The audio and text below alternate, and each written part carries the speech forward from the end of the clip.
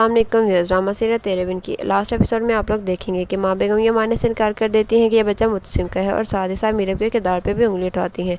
मुरसिम जब ये सुनता है तो वो गुस्से में माँ बेगम को रोकता है और कहता है कि खबरदार, आपने जो मेरी बीवी के खिलाफ एक लफ्ज़ भी और बोला ये बच्चा मेरा है और मैं ही इसका बाप हूँ। माँ बेगम हैरत से मुस्लिम की तरफ़ देखती हैं, मगर सबकी हैरत की इंतहा तब नहीं रहेगी जब हया खुद उठेगी और कहेगी कि वो ये निकाह नहीं करना चाहती।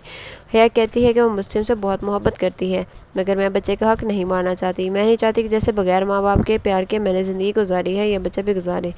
मैं इस दर्द को अच्छी तरह जानती हूँ कि माँ बाप के प्यार के बगैर दूसरों के सहारे पलना कैसा होता है। ये कह के हया वहाँ से चली जाती है। माँ बेगम रोते हुए मीरब और बच्चे की तरफ़ देखती हैं और मीरब से माफ़ी मांगती हैं और बच्चे को उठा लेती हैं।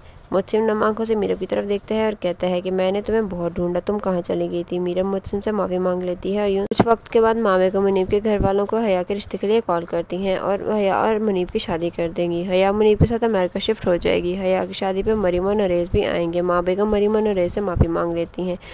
हया मुनीम के साथ खुश रहेगी, मुतसिम और मीरब अपने बच्चे मिसम के साथ खुश रहेंगे और यूँ तरबन ड्रामा की हैप्पी एंडिंग होगी। तो व्यूअर्स मजीद ड्रामाज के प्रोमोज आने के लिए आप सबसे गुजारिश है कि चैनल को सब्सक्राइब और वीडियो को लाइक करना मत भूलिएगा।